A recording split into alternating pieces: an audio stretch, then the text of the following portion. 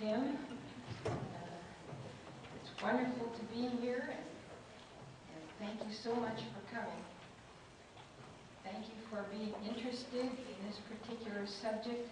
I I know that many of you have pressing problems,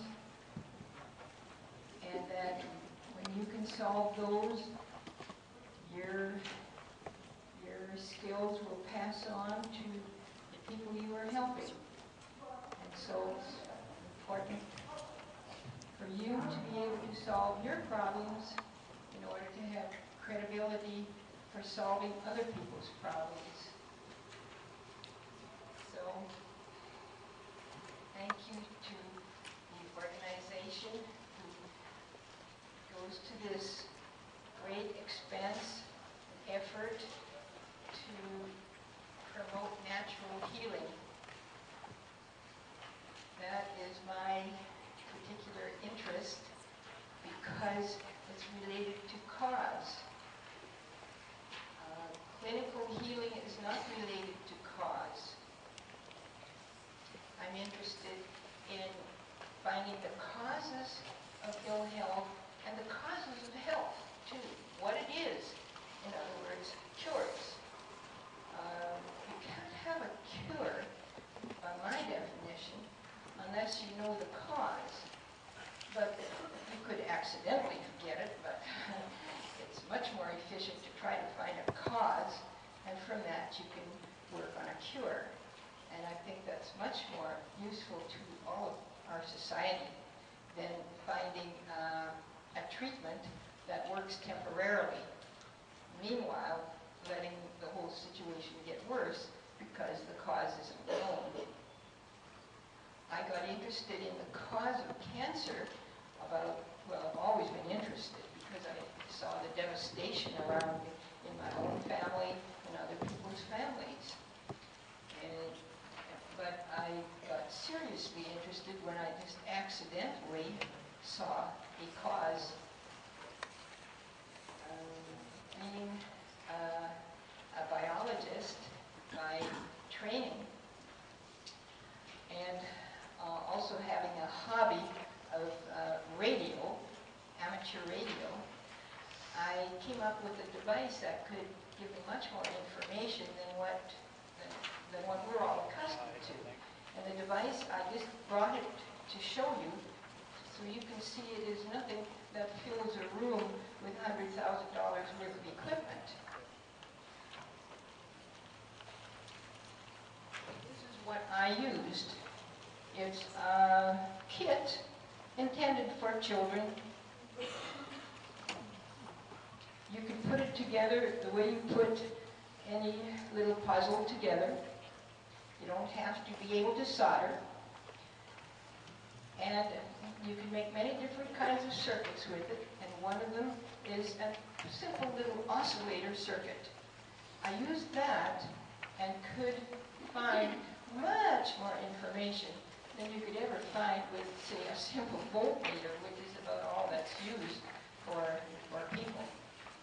I mean, other areas of research have, have zoomed ahead.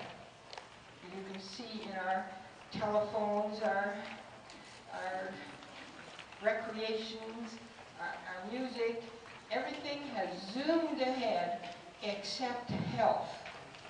Health has gone the other direction because of suppressive forces which have always been with, with humans. Humans are competitive and they don't want other people to uh, compete with their products and their concepts, uh, and that's the nature of human being. Unless we understand that, we will be sacrificed to that principle. And uh, so that you don't have to be uh, one of those who get sacrificed, I want to make all my information public so that those who want to join the ranks of scientists of, uh, in the public, uh, in the public, uh, on, on the street, scientists who are trying to uh, study and understand the causes of ill health and, and what decides on health. If you are interested in finding those causes, you can. It's fairly straightforward, and I'll demonstrate it tomorrow. Uh, so I would be happy to see everybody there, because that's why I brought it, so that everybody could feel competent to make the kind of discoveries that I am making.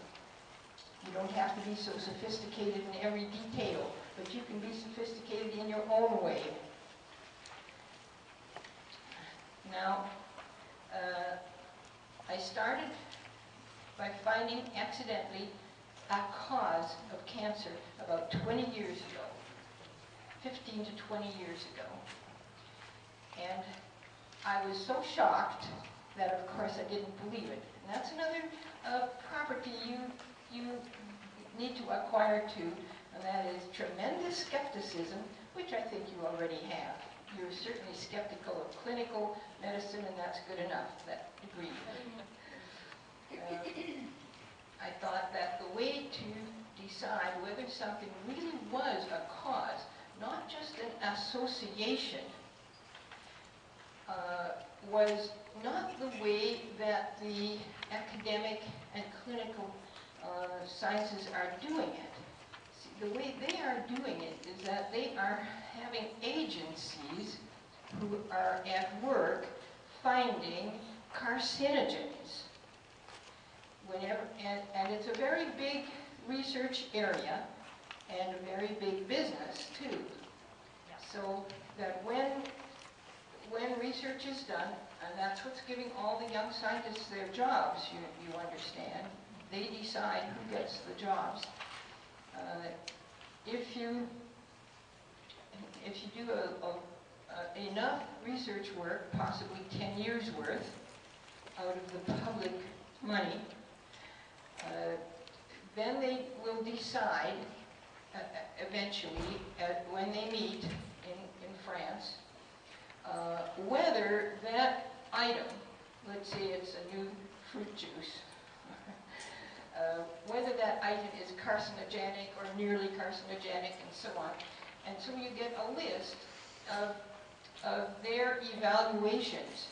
The organization that does that is called IARC, and we just call it IARC for short, International Association for Research in Cancer. That's the most prestigious organization. So you would think that if I, and, and you would expect everybody to have respect for that organization, and I certainly do. It's just that their, their criteria of what is cause and what isn't are different they will generalize and use their ideas. So, in other words, it's theoretically based. And I am not. I'm empirically based. That's the fundamental difference. And I think that's what distinguishes you, too. You believe in what works not what somebody says should work and therefore does work, and therefore you assume that it does, and therefore you, you, you, once you're assuming that it does, let's say you assume that vitamin C is good for cancer. You don't have any evidence yourself. But if you assume it, then you will buy it, and you will give it, and you will take it. And there is commerce for you. But I don't do it that way. I did it differently right from the start. I saw three cancer patients fairly close together because it just happened that way. And at the time, just by chance, I was testing everybody for parasites, even though I knew that they didn't exist in humans. Well, that's the nature of a scientist at heart, right? Just try it anyway, because maybe it does. Uh, human knowledge is so inadequate. so then I wanted to use my set, right? My set of parasites. uh, I found this outrageous parasite uh, with uh, larval stages to it, all of which I had studied uh, and, and knew all the details. It's just that I had never made the logical connection that if the pigs uh, in this country and all around us, in fact, that's where we got our specimens for the parasitology class, because we each saw them and we made slides out of that. That's what the class was about. Uh, I didn't put two and two together because you can get very off base when you mix theoretical ideas with actual empirical ideas. Often they don't fit at all. And in this case, it's a terrible misfit because for our parasitology classes, we just went to the abattoir. That is, I didn't as a pupil, but the instructor went to get the parasites for us for our parasitology class. And there they were, all these flukes and roundworms and flatworms. The, flat, the, the tapes were pretty ugly. The others were shocking, more than ugly. and, um, and there they all were. Uh, but I had never put two and two together to think that humans could have such things. And we're all in a bit of a mindset that was quite wrong, just because um, we're listening to authorities and we're, we have a theoretical attitude. But after I tested these three patients with, uh, they weren't my patients at that time, but, uh, but they were there for consulting over nutritional ideas. That's what I was uh, working with. And it wasn't for their cancer, it was for something else, of course, because I knew theoretically, and quite wrong, that there could be no nutritional influence. So you see, we've come a long way. and uh, I noticed that never in all the others I had tested were there any cases of this particular parasite called the human intestinal fluke. Uh, but these three cancer cases did each have them and I thought that was too, too suspicious to just let go. And uh, eventually, uh, I found a, a, a, way that I would test it for myself. I uh, decided that the way to see if this really is just an association, even though it was 100%, wasn't convincing enough to me, three out of three isn't enough, um, if it was, but I wasn't about to get 300 in less than a number of years, I, I couldn't wait for getting more, so I thought I would do it differently. I would try to kill it after, and that took me about a year, a year or a year to two years, because I had never heard of herbs before. And I didn't know that there was some there was some historical background to uh, treating with herbs, and uh, I didn't know that books existed, where, or even, I hadn't really gone to a health food store, I don't think either. I found that that's where you would find these books. Uh, so eventually I turned to the things that I had at my disposal. I had a black walnut tree right in my own yard. And very often that does happen, that you have what you need right on your shelf. So you have to remind yourself of that little principle. There's a possibility that the answer is on your shelf.